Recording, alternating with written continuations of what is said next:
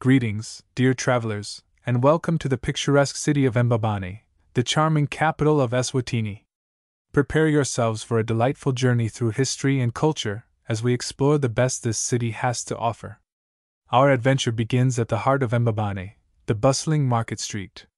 Stroll through this vibrant marketplace where you'll find an array of colorful crafts, traditional artifacts, and delicious local delicacies.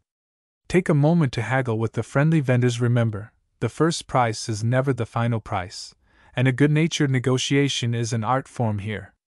Next on our itinerary is the Mbabane National Museum, a treasure trove of Swazi heritage.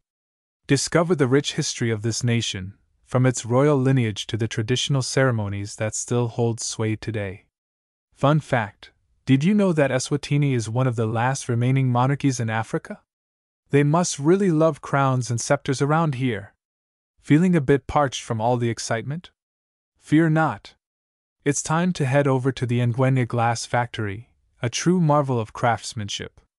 Watch skilled artisans mold molten glass into exquisite works of art, and if you're lucky, you might even get to see a glassblower fashion a quirky sculpture. Keep an eye out for their stunning range of glass animals.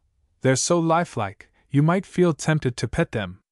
Now brace yourselves for a short hike up to the stunning Sibebe Rock. Trust me, the breathtaking view from the top is worth every step of the way.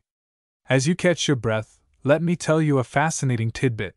Sibebe is the second largest monolith in the world, second only to Australia's Uluru. We might not have the biggest, but we Swazis sure know how to make our rocks impressive. Feeling a bit adventurous? We'll head to the Mantenga Nature Reserve next. Here, you can immerse yourself in the lush beauty of Eswatini's landscape, and if you're lucky, spot some of the incredible wildlife that calls this area home.